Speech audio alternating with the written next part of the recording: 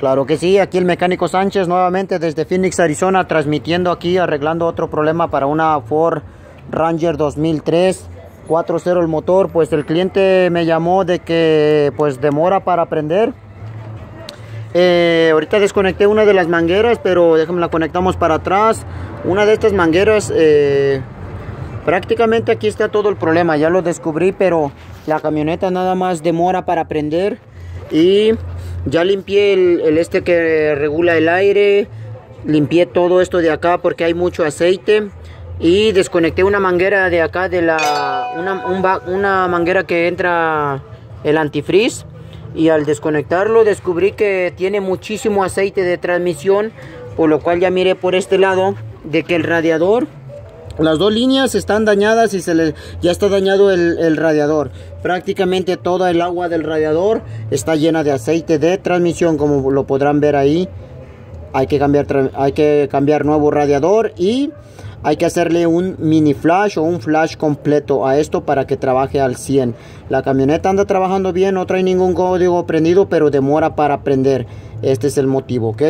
Eh, pues se despide desde Phoenix, Arizona, el mecánico Sánchez. Aquí transmitiendo este este trabajito sencillo y no difícil de hacer. Hay que cambiar otro nuevo radiador ya que este ya está dañado ya, ya, ya se dañó internamente por las dos líneas de la transmisión que se encuentran de este lado. Acá se encuentra una y por la parte de abajo se encuentra la otra. Ok ya. Sistema dañado. Ahí nuevamente les vuelvo a mostrar ahí le aplasto ahí y ahí sale todo todo, todo el sistema ya lleno de aceite de transmisión. Todo lo del agua, del antifreeze. Mecánico Sánchez transmitiendo en vivo desde Phoenix, Arizona. Saludos a la banda, a los colegas por ahí. Espero este video les, les funcione. Y ahorita les voy a mostrar qué es lo que hace. Déjenme uh, paro tantito el video y conecto la manguera y vamos a ver lo que hace. Claro que sí, aquí sigo grabando, ya se me acabó el flash, pero a ver, quiero que vean esto, cómo va a estarear la camioneta.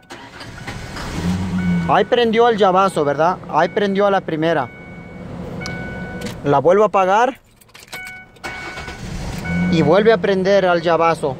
Eh, pero la camioneta nada más estareaba como unas 5 veces, 6 veces hasta que ya prendía.